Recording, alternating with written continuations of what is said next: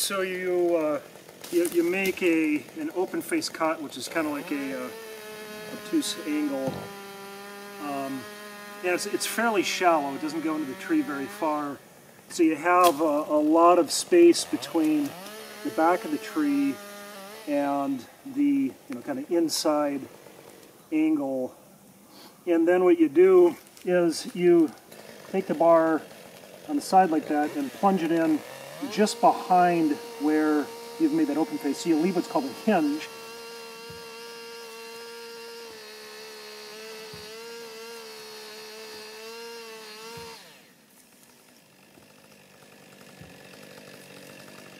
And then you back the bar out and leave just a little piece of wood on the back, it's called the trigger, and the whole tree will sit on that hinge and trigger kind of indefinitely.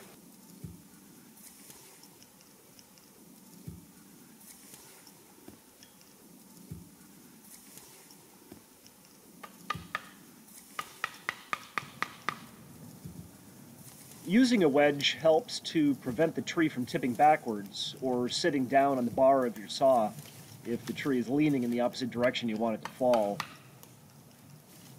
By placing a wedge on either side of the trigger, you can hold the tree in place while you cut the trigger, then drive a third wedge in to tip the tree over. Mm-hmm.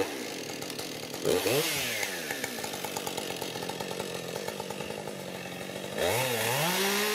And then whenever you're ready for the tree to fall, you come and just cut the back edge, that, that trigger.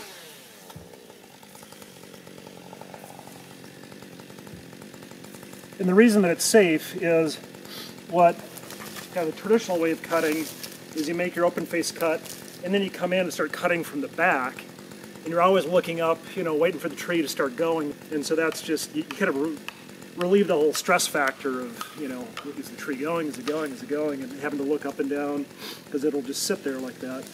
And then the other thing, by cutting out all the inner wood and just having the tree sitting on two pieces like that, is you prevent what's called barber chairing, and that's where if there's a lot of lean on the tree and you're doing a, a back cut, the tree sometimes can just suddenly go and it snaps further up from where you're cutting, and the backside of the tree comes flying back. And so by taking all of that tension out of there, it completely prevents the opportunity for barber chairing.